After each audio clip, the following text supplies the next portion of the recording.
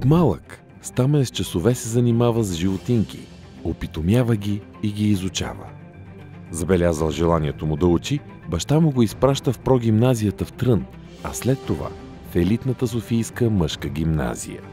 И в двете той завършва с отличен успех и изпъква сред връзниците си.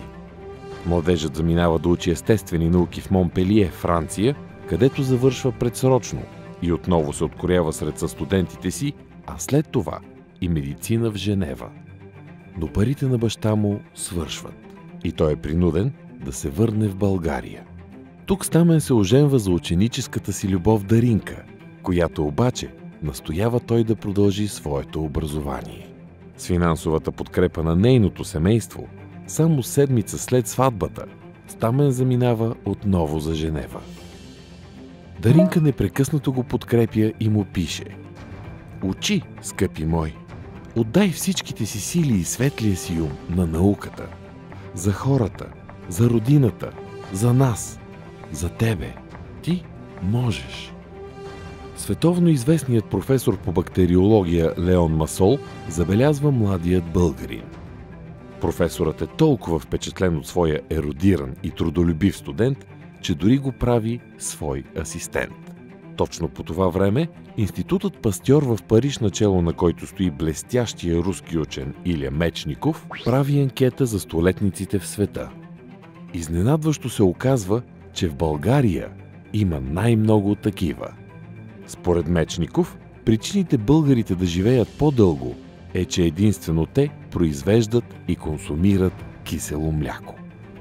Може да се предположи, че и за това професор Масол е насочил своя блестящ студент-асистент към тази тема. В Швейцария обаче кисело мляко не се намира и се налага Даринка да му изпраща от България. Следват хиляди часове над микроскопа, стотици опити, докато в един щастлив ден Григоров не открива причинителя на подквасването на българското кисело мляко.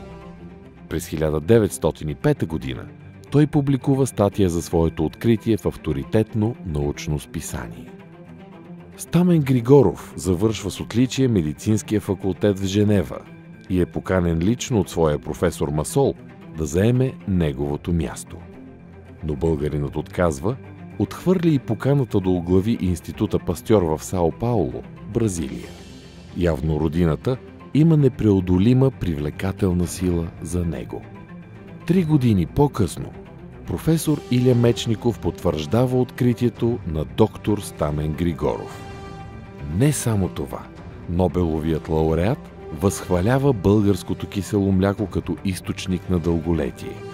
Откритият от Григоров микроорганизъм става известен като бактериум булгарикум григоров или лактобацилус булгарикус. Така се свързва происхода на важната бактерия с националния происход на нейния откривател, който получава висока оценка от научния свят. В това време доктор Стамен Григоров работи като околийски лекар и управител на болницата в Трън. Но и тук не оставя любимата си наука. Започва опити в търсене на противотуберкулозна вакцина. Поради липсата на лаборатория, Григоров използва за опитите яхър за коне, а резултатите обработва в кухнята си.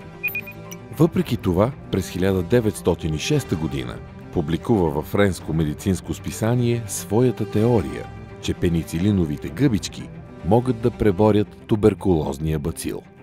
Балканските, а след това и Първата световна война, спират експериментите на доктор Григоров.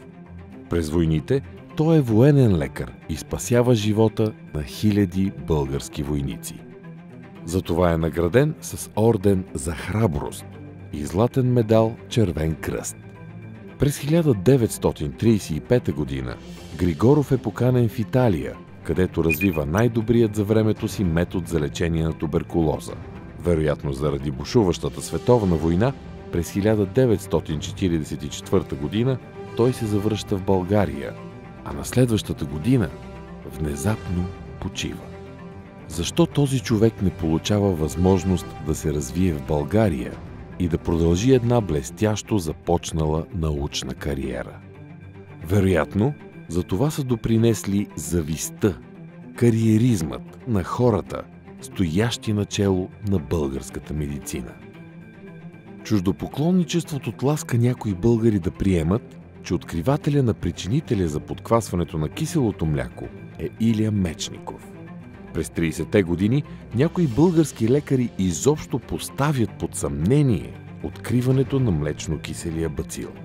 А парадоксът е, че Стамен Григоров е по-известен в чужбина, отколкото в родината си и приживе не получава признание в нея.